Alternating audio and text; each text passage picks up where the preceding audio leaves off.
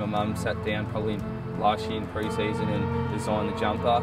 We're from the Yorta Yorta tribe, which is down Barmah Way along the Murray River. So it's got the long neck turtle on it, which represents me and my mum, and then got the Murray River down the middle and just a few designs. So um, yeah, it's pretty special to me and my family, and yeah, just it's going to be good to obviously play an Indigenous round this week and re represent my culture. And I guess we wanted to take the design of the jumper, I guess, to another level. And chatting to Gresh and a few of the other boys running out on Indigenous round with designs on their boots and just fortunate enough that my cousin Tamara is an artist herself, so she'll paint them up with Gresh's design with the uh, with the long neck turtle. So when Gresh goes out and play, he's you know he's got his totem and a story um, in behind the jumper and the boots as well. Yeah, looking forward to hopefully whipping them out this week. It'll be good.